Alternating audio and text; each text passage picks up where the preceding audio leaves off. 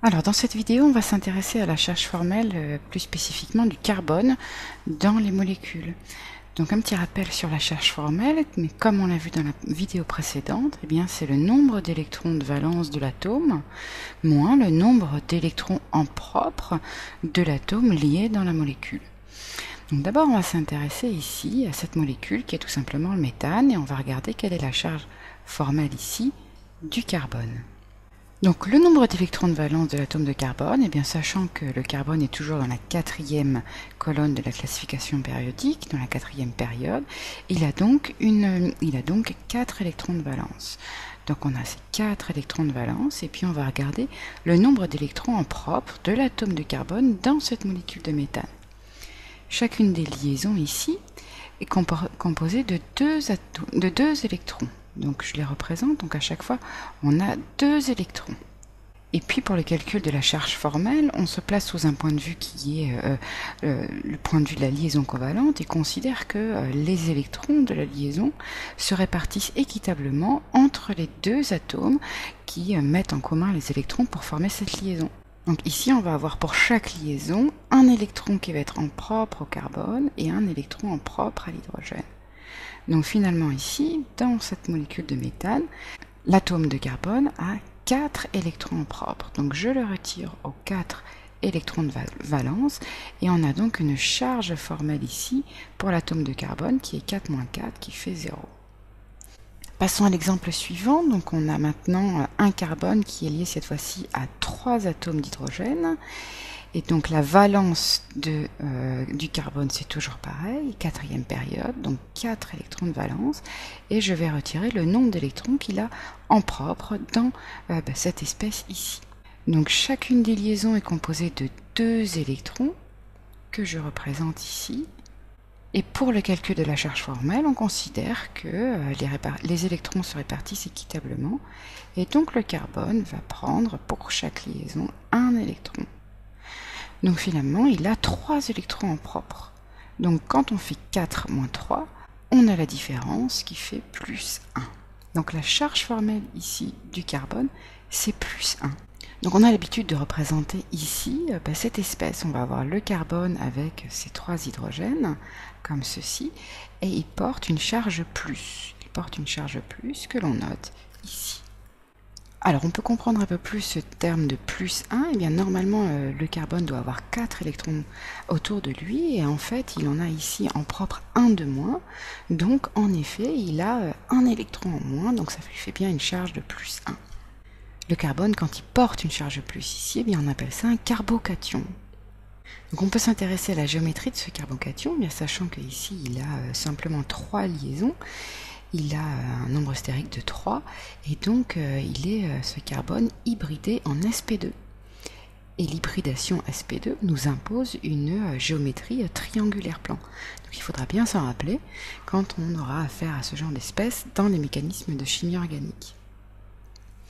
Donc le modèle ici du carbocation, pour bien préciser à chaque fois ce qu'on aura, eh bien on a ici, on reconnaîtra un carbocation quand on a trois liaisons simples et zéro doublet non liant. Donc à chaque fois qu'on aura ce genre de choses, eh bien, il faudra reconnaître un carbocation.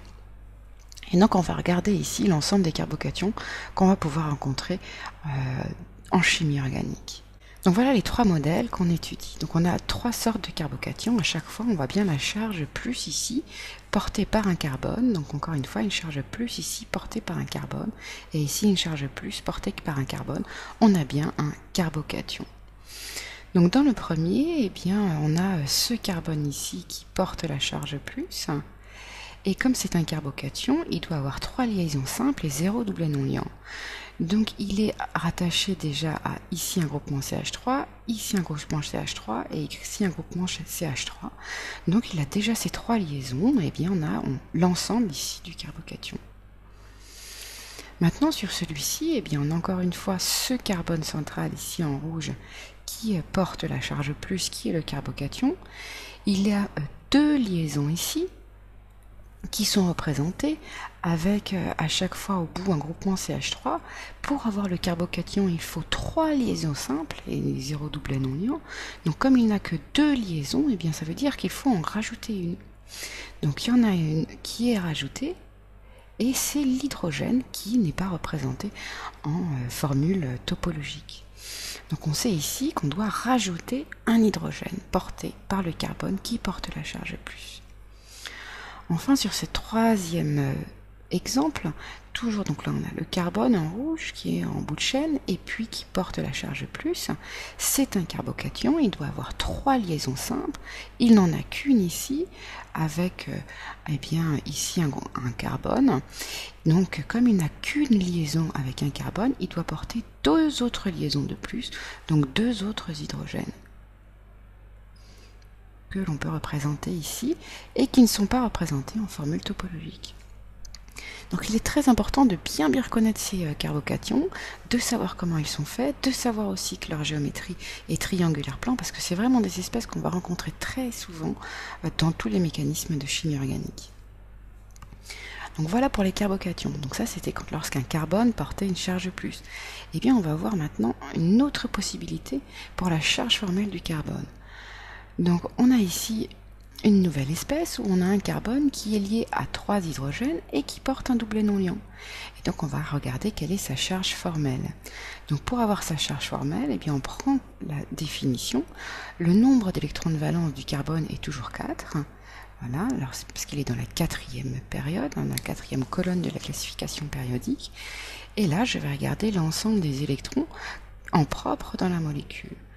Donc dans chacune des liaisons, j'ai deux électrons et puis euh, le carbone en propre va en avoir un seul, et puis il y a le double non liant ici aussi, où le carbone va prendre en fait ces deux électrons en propre, vu qu'il ne les partage avec aucun autre atome. Donc j'entends aussi tous les électrons en propre dans les molécules, donc le carbone porte bien en propre les deux des doublés non liants, et puis pour les liaisons, les électrons se répartissent équitablement. Donc le carbone va en prendre un à chaque fois. Donc finalement, euh, le carbone ici a 5 électrons en propre que je retire ici au nombre d'électrons de valence pour avoir le calcul de la charge formelle, et 4 moins 5, ça fait moins 1.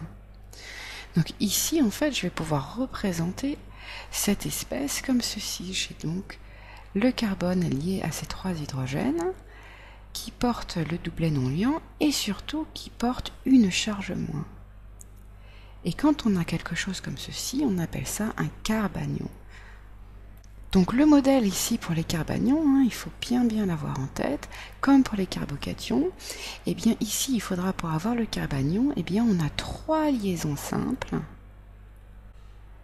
et un doublet non liant. Donc lorsqu'on aura ça, eh bien, on aura à un carbanion. Donc on va regarder maintenant les, les différentes possibilités euh, d'obtenir des carbanions. Donc sur le premier exemple, on a bien ici le carbone au centre qui porte la charge moins voilà, qui est responsable de euh, carbanion. Et puis ce carbone a déjà ici ses trois liaisons et son double liant. Donc trois liaisons simples, un double liant. On n'a rien à rajouter à ce carbone ici en rouge. Pour le deuxième exemple, eh bien ici on a le carbone qui porte la charge moins, qui a deux liaisons et un double non liant. Il faut trois liaisons, donc il faudra rajouter ici un hydrogène à ne pas oublier et qui n'est pas représenté en formule topologique.